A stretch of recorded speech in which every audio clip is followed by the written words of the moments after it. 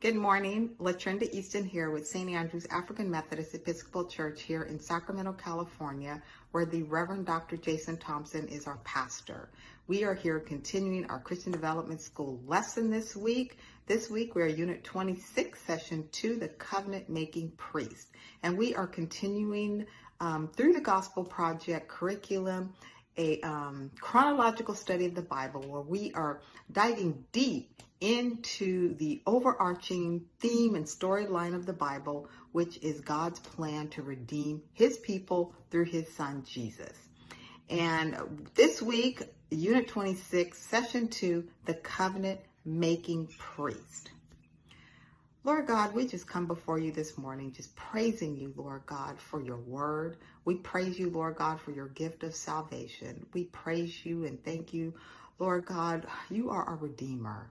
And now, Lord God, we, as we just dig into your word this morning, Lord God, we just ask that you would just enlighten our minds and our hearts. And Lord God, I just ask that you would just open our eyes and hear, ears to what you have for us this morning.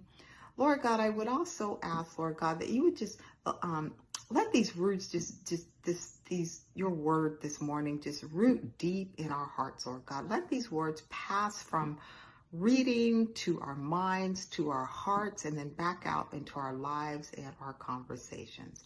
Lord God, we just give you all the glory and all the honor and pray that um, you would be magnified and glorified um, through this lesson. We thank you and we praise you. Amen.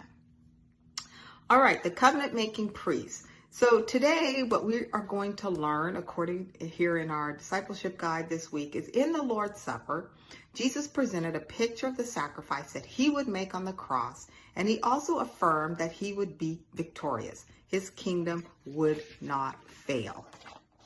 Now, as Jesus prepared to go to the cross, and that's where we've been these last several week lessons, we are in that week leading up to Jesus's crucifixion and um, resurrection. And as Jesus prepared to go to the cross, he instituted a new covenant with his people.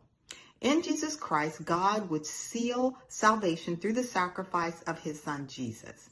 And the covenant did not require anything. It required nothing of God's people because Jesus would complete all the work himself. He would give his life as a ransom for many and he would shed his blood to pay the penalty for sins, for our sins. And so Jesus alone on the cross would complete the work of salvation. And the Lord's Supper would be his people's reminder of their redemption in Christ. And so the Lord's Supper, which we, um, um, many of you know today as our Holy Communion. So anywho, a setting and context for this lesson this week in our passage is Jesus is continuing his march to the cross, but he stopped to celebrate Passover with his disciples. And so the time of his departure was near, his death, and one among them would betray him. But yet Jesus did something more than simply predicting his death and resurrection. Jesus performed the first Lord's Supper. Now, Christians and believers have taken the Lord's Supper, or you may know it as the Holy Communion, ever since ever since as a reminder of Jesus's broken body and blood shed upon the cross. And so this signifies the new covenant between Jesus and his people, the body of believers, a promise that was sealed by Jesus's blood to save his people from their sins. And so we're going to look at three aspects here in our session outline. The Son of Man will be betrayed as part of God's plan. The Son of Man will be sacrificed as part of God's covenant. And the Son of Man will be celebrated as part of God's kingdom. So let's jump right in here with point one. The Son of Man will be betrayed as part of God's plan and as part of God's plan of salvation. So follow along as we read Matthew chapter 26, verses 17 through 25. On the first day of unleavened bread, the disciples came to Jesus and asked, Where do you want us to make preparations for you to eat the Passover? Go into the city to a certain man, he said, and tell him, The teacher says, My time is near. I am celebrating the Passover at your place with my disciples. So the disciples did as Jesus had directed them and prepared the Passover. When evening came, he was reclining at the table with the twelve. While they were eating, he said, Truly I tell you, one of you will betray me. Deeply distressed, each one began to say to him, Surely not I, Lord. He replied, The one who dipped his hand with me in the bowl, he will betray me.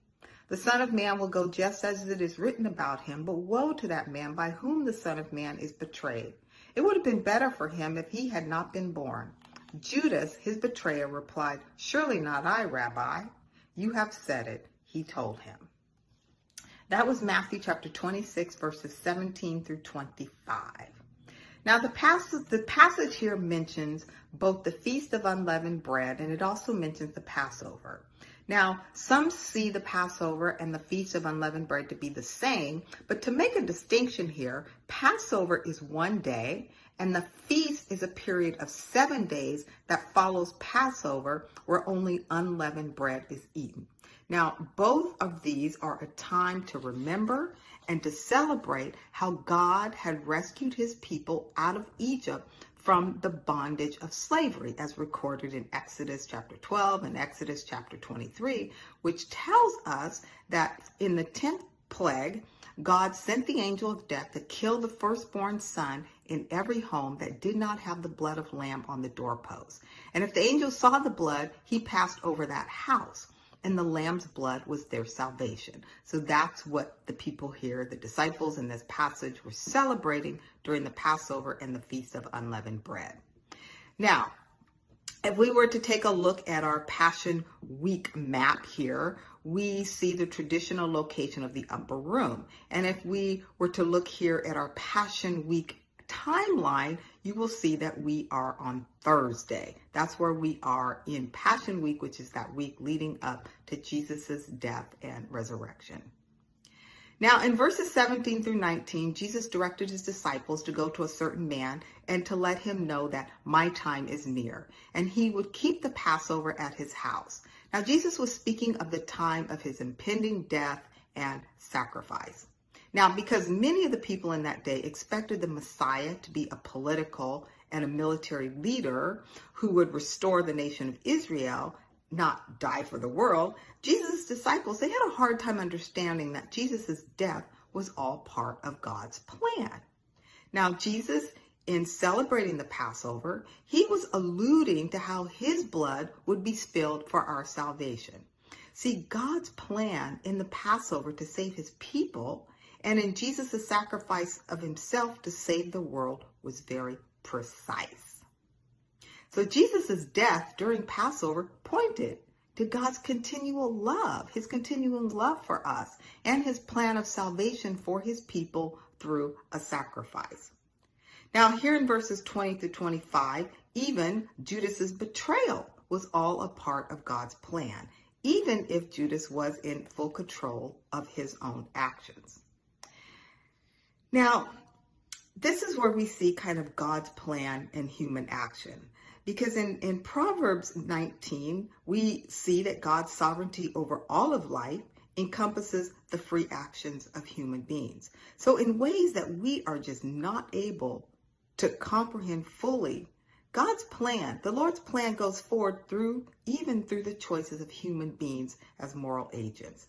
So, even freely chosen sinful actions are factored into God's overarching plan. That's his sovereignty, as in the case with the crucifixion of Jesus, an event that both purposed by God through foreknowledge, but yet it was also carried out by the wicked decisions of human beings. And we we um and, and knowing that God is working, so Romans 8:28 tells us, you know, knowing that God is working all things for the good of those who love him. We can trust in God's promise to fulfill his plan, even when we do not fully understand our present circumstances.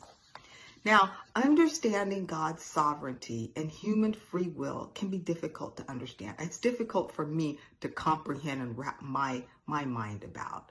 But um, we can see, you know, how God's plan and our choices work together. But we do know that God is sovereign over all, and we do know that we are responsible for what we do. And here in our text, Jesus and Judas, they kind of help us to see how both divine sovereignty and human responsibility work together in God's grand plan.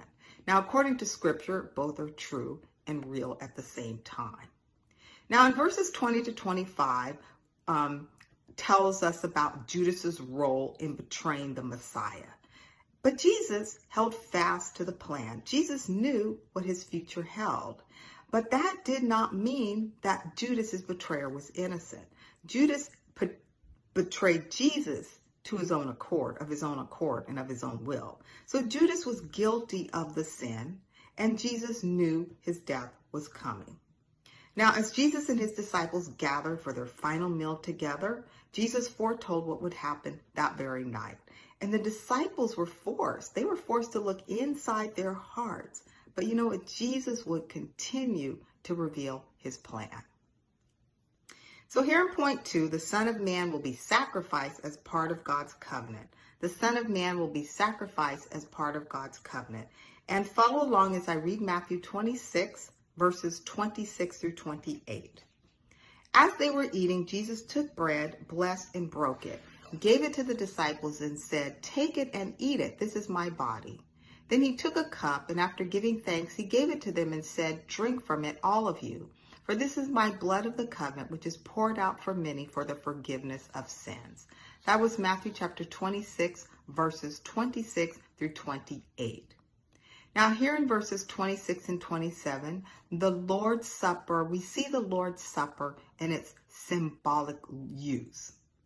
Now, the Lord's Supper is a symbolic act of obedience whereby members of the church, the body of believers, through partaking of the bread and the fruit of the vine, memorialize the death of Jesus, our Redeemer, and we anticipate his second coming. Now, in this passage, Jesus and his disciples, they were eating the Passover meal, and this was a specific meal of remembrance with each element an important piece of the Exodus story that I referenced earlier. Now, traditionally in the Passover meal, the, the, the, the um, Passover meal, the narrative of God's redemption would be told throughout the meal. That's the redemption of the whole Exodus story would be told throughout the meal. But here, Jesus gave new meaning and he initiated a greater salvation, not just for the Jews, but for all who would trust in Jesus' sacrifice on their behalf. So Jesus started with the bread. Verse 26 says he blessed it, he broke it, and he commanded them to eat it. But what he said next was unusual, kind of to say the least. He said, This is my body. And see, the broken bread symbolized the broken body of Jesus. Now, of course, his body was not yet broken, but it soon would be on the cross. And Jesus had previously told his disciples that he would be killed in Jerusalem, and at the Last Supper, he reinforced that prophecy. And here in verse 27, Jesus took the cup, and again, he gave thanks. And he gave it to his disciples, and he commanded them all to drink it. So both the bread and the cup are to represent Jesus' sacrifice, his broken body, and his blood poured out. Now, looking at the Lord's Supper with fresh eyes, that should change. That should change the way that we approach partaking of it within the church because it reminds us to remember God's saving work and not to just take it for granted um, or take it without any thought. We should not be taking the Lord's Supper without any thought. It should remind us of God's saving work. And it should remind us to confess our sins while knowing that God forgives our sins. It should remind us to celebrate this new covenant that we have with Jesus Christ. Now, in verse 28, Jesus brought a new covenant for the forgiveness of sins. Now, this new covenant that Jesus initiated was a fulfillment of all of the promises that were found in the Old Testament. All of the Old Testament points to Jesus. Now, as that first covenant in the Old Testament was sealed, it was sealed with the blood of goats and bulls. This new covenant is sealed with the blood of Jesus Christ. Now, that phrase, the blood of the covenant, has deep Old Testament roots. So, when God led the people out of Egypt to the promised land, he made a covenant with his people. God in Exodus chapter 24, God commanded Moses to throw the blood of sacrificed animals upon the people to seal the covenant that the Lord had made with them. Now, in the Old Testament, there were only two other times that blood is thrown upon people. It's at the consecration of the priest in Leviticus and the cleansing of the leper, also in Leviticus.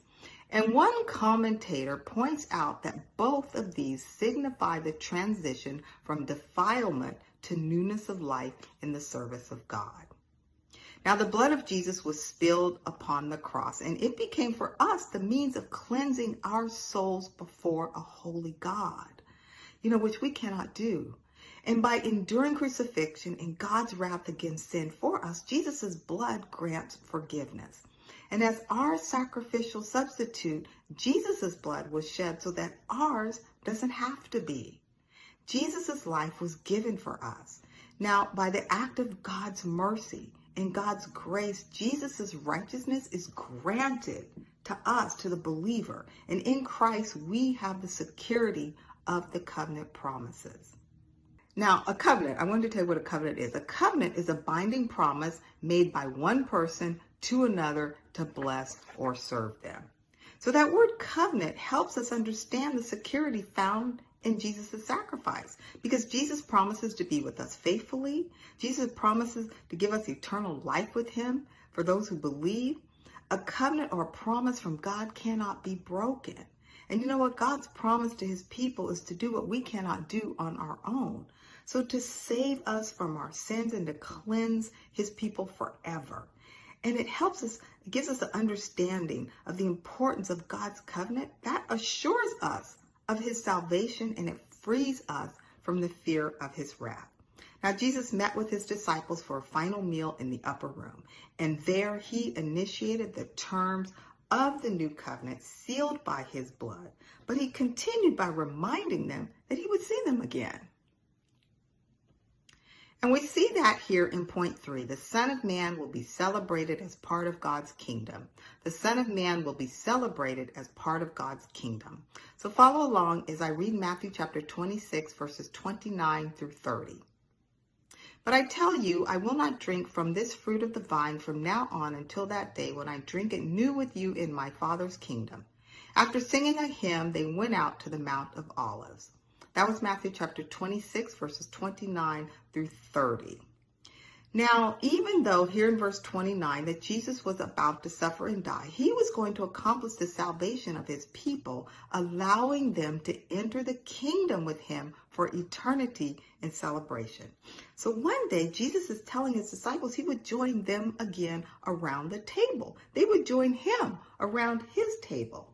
So this was a prophecy of future joy. And so Jesus ends their time together with his disciples with eternal hope. His father has a kingdom. And remember, we spent a whole quarter on that kingdom. Jesus is going to it and he's telling his disciples they will be there one day too. And so the salvation brought about on the cross accomplishes redemption for God's people. And so the Passover meal Jesus shared with his disciples was a foretaste of the family meal to come in the Father's house.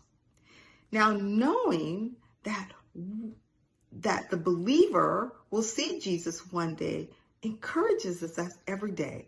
Knowing that I will see Jesus one day encourages me every day. It gives me joy just anticipating that future day. It gives me hope for a future kingdom. And it also gives me peace knowing that everything in this life, this life is temporary. And so this Last Supper here ends with a song of worship, giving God the glory and rejoicing in his faithfulness, anticipating the fulfillment of God's salvation plan. So as the Last Supper ended, Jesus and his disciples, they sang a song of praise to God together. And it was the most fitting end to their time together before Jesus endured the suffering on the cross. And that brings us to our response. You know, after Jesus made a covenant in the Old Testament with Israel, and he sealed it through animal sacrifices, the people of God, they broke the covenant. They worshiped false gods. They turned away from God and they turned to the things of the world.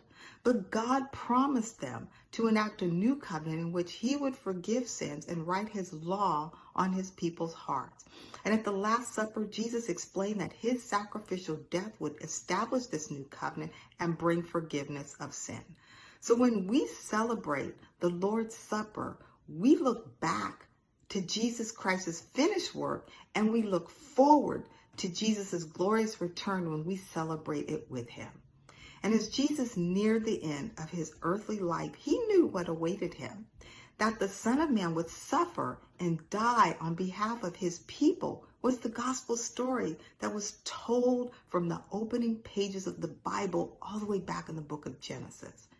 And as the first covenant was sealed by animal blood in the Old Testament, the new covenant here in the New Testament was sealed by Jesus' blood to rescue people beloved by the Almighty God.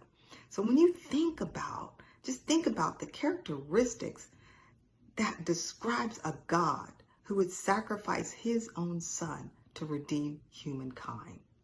And isn't it striking, or I find it striking, that Jesus and his disciples ended the Last Supper with singing? I mean, praise is always the proper response to God's work. And even when the future appears grim, the Bible helps us to see that the future for God's people, the believer, is always bright. God is on his throne Everything is going his way and he loves us. And because of these truths, we can sing praises to him out of a truly joyful heart because we know that the steadfast love of God never ends. So how does the good news of the gospel compel you to praise God? And what Jesus did on the cross was the only way to save God's people forever. And because he accomplished his work, we now have the greatest story ever told to share with the world that desperately needs to hear it.